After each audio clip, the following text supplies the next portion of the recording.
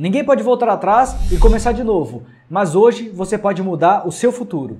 No empreendedorismo, muitas pessoas acabam errando no caso de querer inventar a roda, mas na verdade não entende que tem que aproveitar as oportunidades que estão na frente dela. Nesse vídeo vamos falar um pouco mais sobre algumas orientações no empreendedorismo para você que é iniciante. O primeiro passo é você reconhecer onde você está. No começo do meu empreendedorismo, eu não conseguia me achar onde eu estava e onde eu deveria começar no empreendedorismo.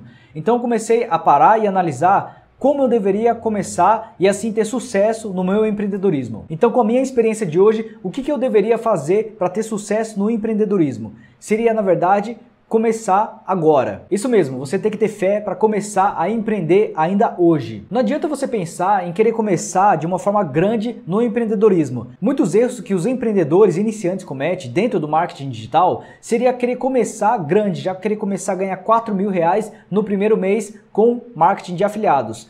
Só que quando eu comecei, eu sempre tive essa, esse pensamento, na verdade, de que eu tenho que começar primeiro pequeno para depois eu escalar o meu negócio. E foi assim que aconteceu no meu negócio e assim que acontece em diversos outros empreendimentos. Então lembre que tudo que é grande um dia começou pequeno. Eu gosto muito de uma frase e eu gosto sempre de lembrar ela. Pequenas coisas que ninguém vê geram grandes resultados que todo mundo deseja. Esse sim é uma frase que faz muito sentido dentro do empreendedorismo. Porque as pequenas atitudes que você faz dentro do empreendedorismo, seja você criar um vídeo no YouTube, seja você criar um grande canal depois, depois de ter criado diversos vídeos todos os dias, gravando incansavelmente no seu empreendedorismo, e assim quando você vê, você já tem um império criado dentro do seu negócio online. Então minha dica seria você dar o seu primeiro passo dentro do empreendedorismo. Uma segunda coisa que eu gostaria de compartilhar com vocês é que você tenha um foco em uma única coisa. Não adianta você querer abraçar diversas redes sociais dentro do marketing digital.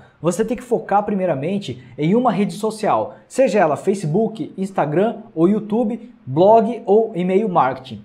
Depende muito do que vai ser a sua estratégia de empreendedorismo. Se você focar, por exemplo, no meu caso, eu comecei a focar somente no YouTube. Eu tinha outras coisas também, eu tinha minha fanpage, eu tinha meu e-mail marketing, eu tinha meu blog, só que o que eu foquei realmente foi no YouTube. E hoje eu tenho frutos colhendo e eu sei que hoje eu posso focar em outras coisas, sendo Facebook, blog, e-mail marketing, porque eu sei que o outro negócio que eu criei com foco, com persistência e com resiliência está hoje me gerando muito dinheiro. E assim eu posso dar foco em outros negócios, sendo até mesmo em outros negócios offline. Então, o grande segredo que você tem que aplicar no seu negócio online seria você focar em uma única estratégia até você ter resultados. A partir do momento que você tem resultados do seu negócio, aí sim você pode pensar em outros tipos de estratégias, sendo blog, fanpage, e-mail marketing ou até mesmo um negócio offline para você estar tocando em sociedade com outra pessoa. E se você queira trabalhar como afiliado ainda hoje, eu vou deixar um link aqui na descrição para você fazer o download de um e-book de um cronograma de 30 dias que eu fiz para que você possa trabalhar desde o dia 1 até o dia 30 como afiliado, passo a passo mesmo, e assim você seguir essa trajetória que eu fiz aí dentro do marketing digital e ter resultados como esse que eu mostrei alguns vídeos atrás, e assim você viver apenas de marketing digital e conquistar sua liberdade financeira.